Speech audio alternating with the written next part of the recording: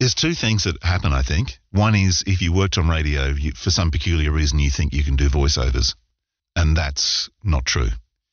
The other thing is you have an agent, which you know very few people in radio ever have. So you you are reliant on your agent finding work for you.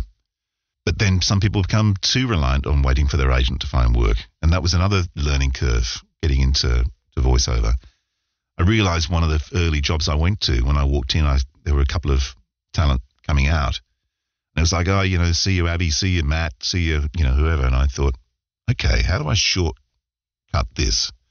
They know those people, but they have no idea who I am. So how do I make them know me and do it really quickly? So um, I uh, employed a, a, photographer, and I said, look, we're going to do that. We're going to make the, the early CD demos because cassettes are just finished. I want to make a CD, but I want you to think if this was an album, what would you have as an album cover that has to, and I'm a solo artist, what would you put on there?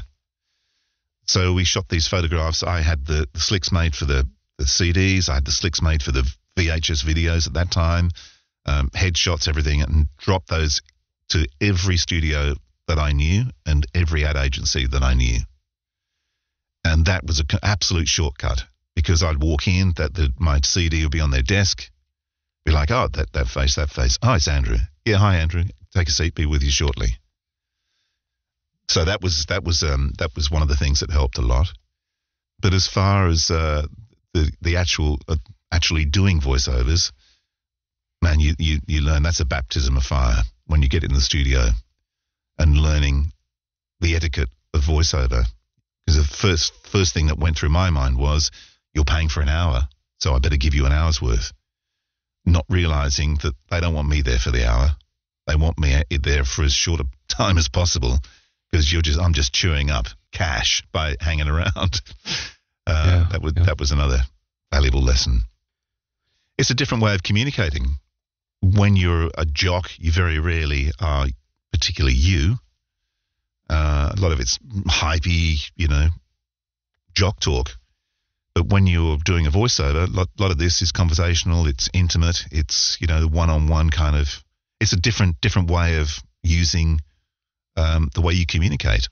Uh, it is much more intimate doing voiceover, which I'm sure some radio people would disagree with. But um, you know, radio is a different. It's a different beast. You know, you're an entertainer. Yeah. You're up there. It's basically you're up there singing, where when you're doing voiceover, you're in there acting, and that's probably the difference. I had to learn pretty quickly because um, that's the only income I had.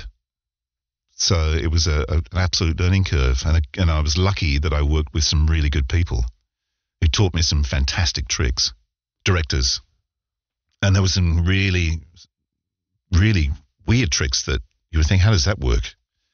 But you know, you're constantly falling over something, or you're just not getting something right, and be a thing like just cross that, you know, take out that letter and, and write it upside down and then have another crack at it. And of course, you as soon as you get to that point, your brain all of a sudden changes. It's looking, what's that? And refocuses everything, and bingo, you've solved the problem.